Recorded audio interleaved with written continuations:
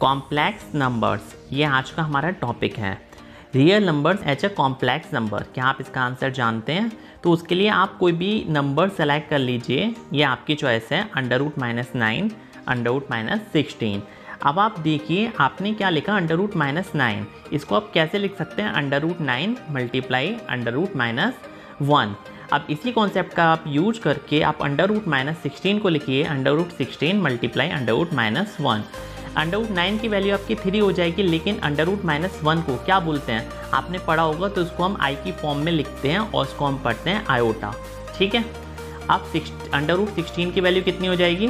Four और यहाँ पे अंडर रूट माइनस वन की जगह कितना आ जाएगा? आयोटा तो ये आपके पास क्या नंबर बन गया? थ्री मल्टीप्लाई आयोटा और फोर मल्टीप्लाई आयोटा तो थ्री क्या है आपका? एक रियल नंबर और आयोटा क्या है आपका?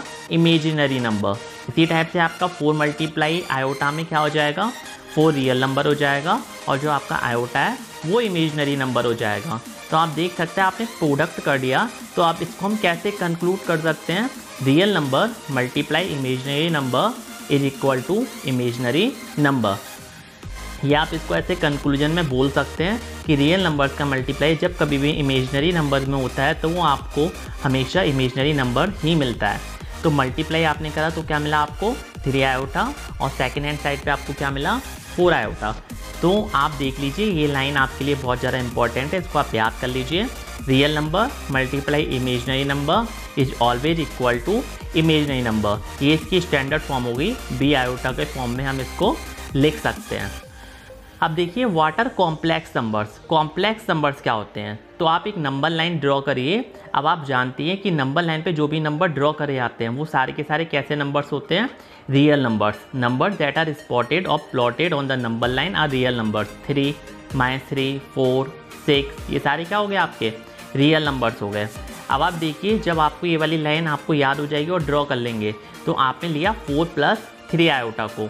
अब देखिए, यहाँ पे आपका फोर माइनस थ्री आयोटा दो एग्जाम्पल्स हो गए। अब इसमें आपका फोर क्या है? रियल पार्ट और थ्री आयोटा एक तरीके से क्या हो गया? Imaginary part. तो जब कभी भी आप इस टाइप से कोई भी नंबर लिखते हैं, जिसमें आप कंबाइन करके लिखेंगे रियल पार्ट और इमेजनरी पार्ट को तो आपको फाइनली जो आंसर मिलेगा, वो आपको कॉम्प्लेक्स नंबर के फॉर्म में मिलेगा। तो फोर प्लस थ्री आयोटा आपका क्या है? ये आपका एक कॉम्प्लेक्स नंबर है। इसी टाइप से आपका फोर माइनस थ्री आयोटा क्या है? ये भी आपका एक कॉम्प्लेक्स नंबर है। तो आपका कंक्लूजन क्या निकला? ये आपके इतने सारे एग्जाम्पल्स हैं कि इस टाइप से जब कभी भी नंबर लिखे जाएँगे, वो आपके कॉम्प्लेक्स नंबर के एग्जाम्पल्स होंगे। मीन्स रियल पार्ट और इमेजनरी पार्ट का कॉम्बिनेशन आपका हमेशा कॉम्प्लेक्स नंबर कहलाता है। स्टैंडर्ड फॉर्म क्या होगी? A plus B iota A क्या है आपका? रियल पार्ट और बी आइटा क्या आपका? इमेजनरी पार्ट अब every number is complex number with zero as its imaginary part ये आपकी मोस्ट इंपॉर्टेंट लाइन है इस वीडियो की, कि कोई भी नंबर हो, वो आपका कॉम्प्लेक्स नंबर होता है। लेकिन कंडीशन क्या है? ज़ीरो उसका इमेजनरी पार्ट होगा। अब आप कंसीडर करिए एक नंबर सेवन को। तो सेवन को आप कैसे लिख सकते हैं? सेवन प्लस ज़ीरो आया था।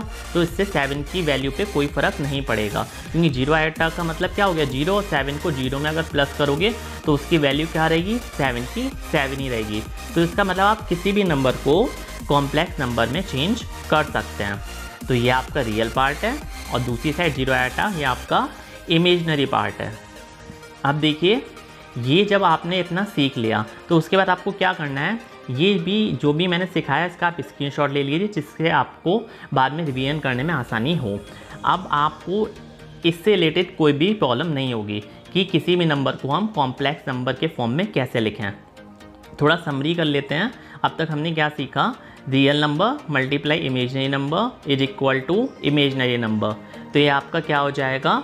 ये मोस्ट इंपॉर्टेंट लाइन है। सेकेंड लाइन जो कोई भी नंबर आप नंबर लाइन पर ड्रॉ करते हैं, वो आपके कैसे नंबर्स होते हैं? रियल नंबर्स होते हैं। ठीक है? ये आपका सेकेंड पेज हो गया। तो जैसे कि आप यहाँ पे देख सकते हैं, ये सारे आपके कॉम्प्लेक्स नंबर्स के एग्ज़ाम्पल हैं। इसकी स्टैंडर्ड फॉर्म क्या है? A plus B iota A plus B iota की फॉर्म में हम कोई भी कॉम्प्लेक्स नंबर डिनोट कर सकते हैं। ठीक है? इसका आप स्क्रीन ले लीजिए, जिससे आपको बाद में ये याद करने में आसानी होगी। आई होप ये आपको समझ में आ गया होगा। Please subscribe our channel and thanks a lot